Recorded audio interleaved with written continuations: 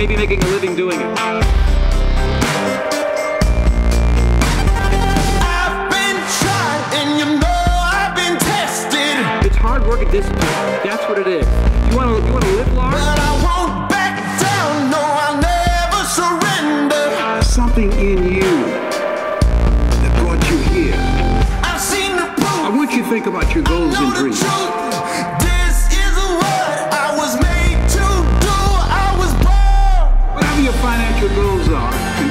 Figure. I want you to multiply that I was born by a hundred times. for this. I found that most people fail in life not because they aim too high and miss. Most people do what I did. Aim too low and hit. Hit and I might start bleeding, So if you want to earn like a boss, you gotta start acting like one. but I'm not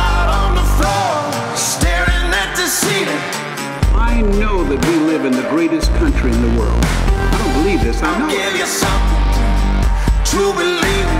About to show you now that it's more than just a feeling. I was born One of the most important things that you can do when you're in pursuit of your goals and dreams baby. Is to, to believe that it's possible. for this. I believe you're going to do it.